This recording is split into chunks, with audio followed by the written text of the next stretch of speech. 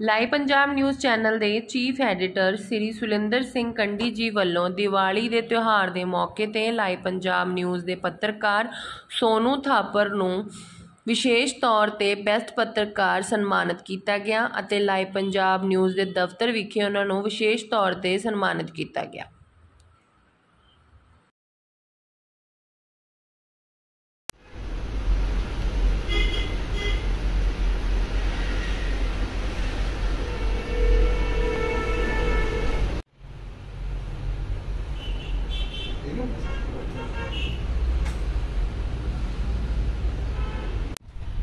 ਵਾਹਿਗੁਰੂ ਜੀ ਕਾ ਖਾਲਸਾ, ਵਾਹਿਗੁਰੂ ਜੀ ਕੀ ਫਤਿਹ। ਅੱਜ live Punjab news ਵੱਲੋਂ ਸੋਨੂ ਥਾਪਰ ਜੀ ਤਲਵਾੜੇ ਤੋਂ ਸਾਡੇ ਵੈਸਟ ਪੱਤਰਕਾਰ ਚੁਣੇ ਗਏ ਆ, ਜਿਹੜੇ ਕਿ ਪਿਛਲੇ ਕਾਫੀ ਟਾਈਮ ਤੋਂ ਸਾਡੇ ਨਾਲ ਇਹਨਾਂ ਨੂੰ ਕੰਮ ਕਰਦੇ ਆ, ਤਕਰੀਬਨ 4-5 ਸਾਲ ਹੋ ਗਏ ਆ। ਤੇ ਸੋਨੂ ਥਾਪਰ ਬਹੁਤ ਹੀ ਵਧੀਆ ਇਮਾਨਦਾਰੀ ਨਾਲ ਇਹਨਾਂ ਨੇ ਓਨੈਸਟ ਨਾਲ ਆਪਣੀਆਂ ਜ਼ਿੰਮੇਵਾਰੀਆਂ ਨਿਭਾਈਆਂ। ਪੂਰੇ ਟਾਈਮ ਵਿੱਚ ਕਦੀ ਵੀ ਇਹਨਾਂ ਨੇ ਕੋਈ ਸ਼ਿਕਾਇਤ ਦਾ ਸਾਨੂੰ ਮੌਕਾ ਨਹੀਂ ਦਿੱਤਾ।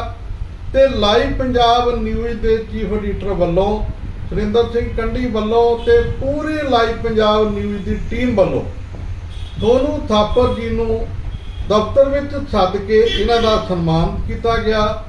ਤੇ ਅਸੀਂ ਰੱਬ ਅੱਗੇ ਬੇਨਤੀ ਕਰਦੇ ਹਾਂ ਕਿ ਜਿੱਦਾਂ ਇਹਨਾਂ ਨੇ ਪਹਿਲਾਂ ਇਮਾਨਦਾਰੀ ਨਾਲ ਓਨੈਸਟ ਜ਼ਿੰਮੇਵਾਰੀ ਨਾਲ ਇਹਨਾਂ ਨੇ ਕੰਮ ਨਿਭਾਇਆ, ਸਾਨੂੰ ਪੂਰਾ ਭਰੋਸਾ ਹੈ ਕਿ ਆਉਣ ਵਾਲਾ ਟਾਈਮ ਵੀ ਇਹ ਆਪਣੀਆਂ ਜ਼ਿੰਮੇਵਾਰੀਆਂ ਪੂਰੇ ਹੀ ਇਮਾਨਦਾਰੀ ਨਾਲ ਨਿਭਾਉਣਗੇ ਅਤੇ ਅਸੀਂ ਮਹਾਰਾਜ ਅੱਗੇ ਬੇਨਤੀ ਵੀ ਕਰਦੇ ਹਾਂ ਕਿ ਆਪਣੀਆਂ ਜ਼ਿੰਮੇਵਾਰੀਆਂ ਤੇ ਪਾਬੰਦ ਰਵੇ ਤੇ ਰੱਬ ਇਹਨੂੰ ਹੋਰ ਤਾਕਤ ਬਖਸ਼ੇ ਕਿ ਇਹ ਹੋਰ ਵਧੀਆ ਤਰੀਕੇ ਨਾਲ ਕੰਮ ਕਰੇ, ਹੋਰ ਓਨੈਸਟ ਬਣੇ, ਜ਼ਿੰਮੇਵਾਰ ਬਣੇ।